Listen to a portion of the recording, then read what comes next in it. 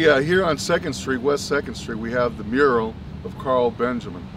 Now, um, David Flores was the artist that came up with uh, this conception of uh, Karl Benjamin. Uh, Karl Benjamin was known for his, like what, how that, I don't know how you call it, abstract type figure, painting with different colors, different angles, triangles, and squares that uh, would make up his artwork. Now, he passed away uh, before he was able to see the mural finished, but he did see uh, what it looked like on a piece of paper, and he was really happy about it. But like I said, unfortunately, he, uh, he passed away before he could uh, see the mural done. And like I said, the artist was uh, Flores, Dave Flores, and uh, he's the one that did the art.